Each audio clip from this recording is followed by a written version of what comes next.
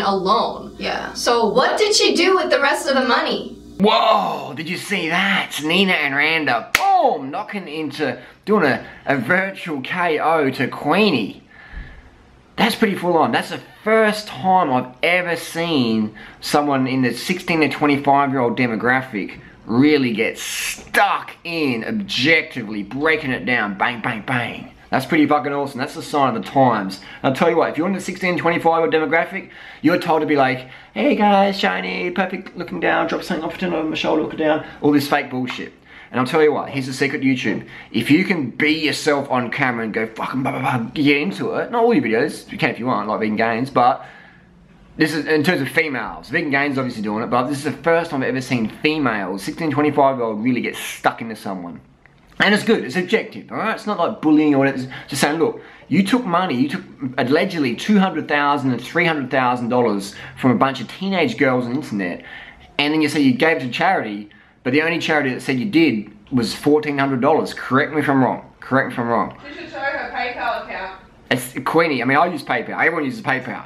Or it's pretty fucking easy to show what you did, what happened, where'd the money go. Show me the money, it's in it. Show your fans the money. I don't really care, but well, I do because I think it's, it's sad when girls trust in a, an older girl, a 19, 18 year old, however old you are, I've seen it, and these young 12 year old, 10 year old girls, they trust in you and you gank them. Allegedly. Alright, now I'm to being proven wrong, and I hope I am. But seriously, if you don't make a response video to Nina and Randa calling you out, then you obviously are a scammer, are a hustler. And that's really fucking sad.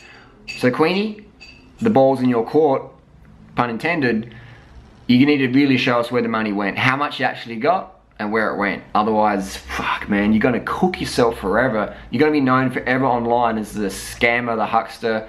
Like there was a Cosmopolitan prize winner, Cosmo magazine, who won a prize. She faked her cancer. She said, I've got cancer. And she built an app and made a lot of money off it. And she got the Cosmo award for that. And then Kayla Itsines got that award next year. Now, I'm not saying there's any connection with scamming people or misleading people. I'm not saying that. I'm just saying that's that's the Cosmo award it was given. So I think if someone says that you're a scammer, then you need to really prove that you're not at that level. So Queenie, it's easy to show us. Give this video a like, a thumbs up if you want to see Queenie uh, display how much she earned and where it went.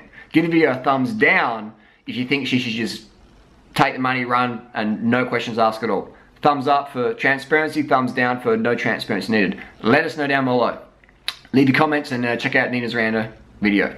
You just tell me what can I do for you? Show me the money.